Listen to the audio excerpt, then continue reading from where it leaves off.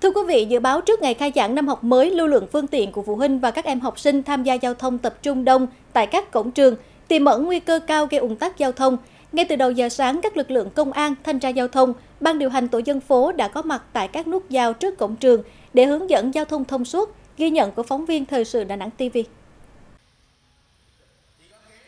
Từ sáng sớm, đội cảnh sát giao thông trật tự các quận huyện phối hợp với thanh tra giao thông thành phố cùng công an địa phương triển khai việc đảm bảo trật tự an toàn giao thông cho học sinh đến trường dự khai giảng.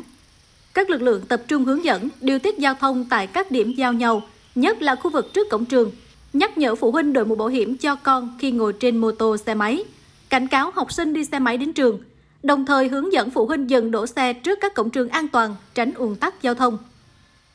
Hôm nay ngày khai trường và, và và kể cả những ngày khác thì à, điều động mà tôi tổ chức trưởng dân phố là đến đây để mà sắp xếp xe cộ để không bị uh, tắc giao giao giao thông cho các cháu được được an toàn. Theo ghi nhận của phóng viên, trong ngày đầu khai giảng, tình hình trật tự an toàn giao thông trên địa bàn thành phố đã được đảm bảo, các tuyến đường thông suốt, các cổng trường bình yên duy trì tốt trật tự. Đây là kết quả của phong trào học sinh sinh viên với văn hóa giao thông và mô hình cổng trường an toàn giao thông do các ban an toàn giao thông quận huyện phát động.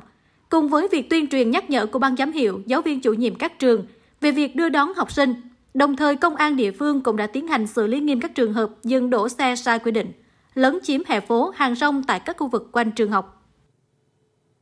Trong các buổi chào cờ, thì nhà trường cũng đã à, tuyên truyền về việc chấp hành tốt các an toàn giao thông khi các em đến trường, đặc biệt là các em mà đi với bố mẹ mà đi xe máy phải phải đầu mũ bảo hiểm khi à, đến trường cũng như là khi đi về. À, trường à, Mai Đăng Trơn thì cũng đặc biệt là nhiều em là đi xe đạp đến trường.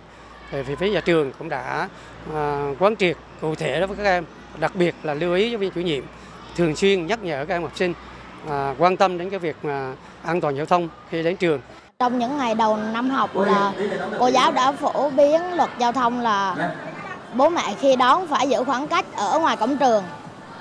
đi nếu như học sinh đi bộ về phải đi trên vỉa hè. Học sinh không được đi xe máy.